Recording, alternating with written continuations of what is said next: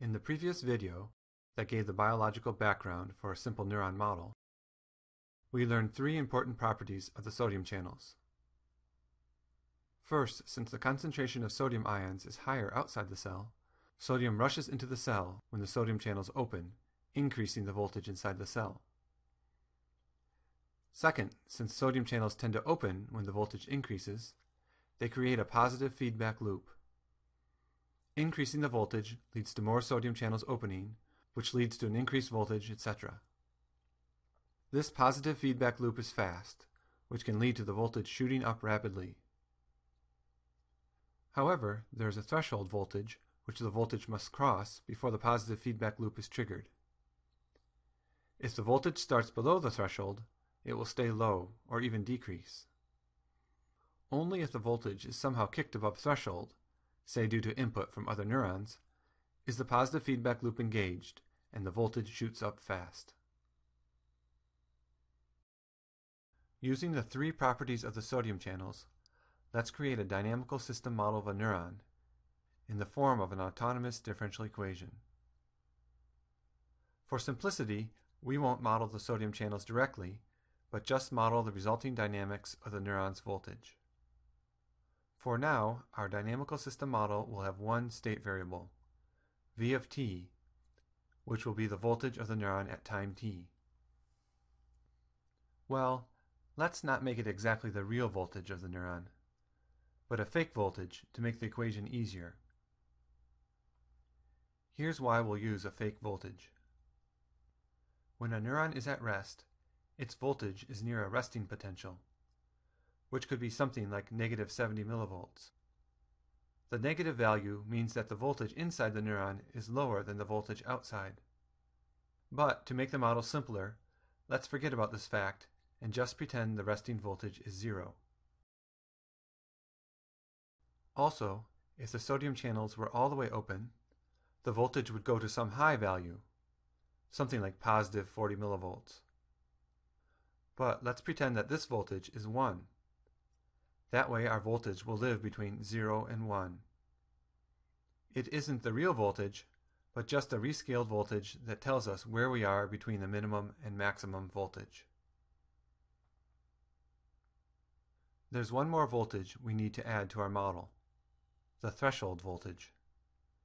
It is somewhere between the resting potential and the maximum voltage.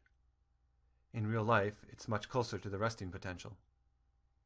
Let's leave it as an unspecified parameter and call the threshold voltage A. To model the influence of the sodium channels on the voltage, here's what we want our model to do. If the voltage is below A, then the voltage should decrease back down to the resting potential 0. However, if the voltage somehow gets kicked above V equals A, then the voltage should increase to 1. If we write the differential equation model in the form dv dt equals f of v, what should the function f of v look like to have these properties? For starters, what should the phase line look like? We definitely want stable equilibria at v equals 0 and V equals 1. The threshold voltage, V equals A, should be an unstable equilibrium between them. We want the vector field, or direction arrows, pointing away from A and toward both 0 and 1. In this way, the voltage will move upward if it is above A, and downward otherwise, assuming we stay between 0 and 1. To get this behavior in the phase line, what should the function f look like? f should be positive in the interval where v is between a and 1, and should be negative elsewhere. The simplest form of such an f is a cubic. f of v equals negative v times v minus a times v minus 1. In this case, the graph of the function f looks like this. With this function f, the differential equation is dv dt equals negative v times v minus a times v minus 1. For this model, can you verify that the equilibria are 0, a, and 1? And that the equilibria 0 and 1 are stable, and the equilibrium v equals a is unstable?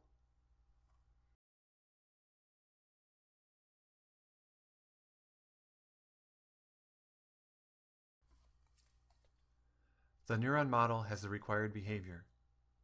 Let's imagine that the neuron starts at rest. If it then receives an input that bumps its voltage upward, but the voltage stays below A, what happens? The voltage decays back down to zero. Since we aren't modeling the inputs, just imagine that you change the voltage by hand and start it at a new value. If the neuron receives a larger input, so that its voltage is kicked above A, what happens? The voltage increases toward 1. In this way, the neuron responds with a large deflection of its voltage only if it receives a big enough input. According to this model, the neuron's voltage will stay at a high value forever, approaching the value of 1 as time increases since V equals 1 is a stable equilibrium. In reality, though, the voltage should just go up briefly and then come back down. We want it to go back down so that it can respond to future inputs. Unfortunately, we cannot get this behavior with our one-dimensional autonomous differential equation model. In such a model, the state variable can never turn around, as it can only move in one direction at each point in the phase line. The secret to bringing the voltage back down lies with the potassium channels, which we have ignored so far. When we add the potassium channels to our model, we will add a second variable and a second differential equation. With such a two-dimensional state space, we will be able to make the voltage turn around and go back down, and maybe even have other behaviors. In the next video, we'll show how to create such a model.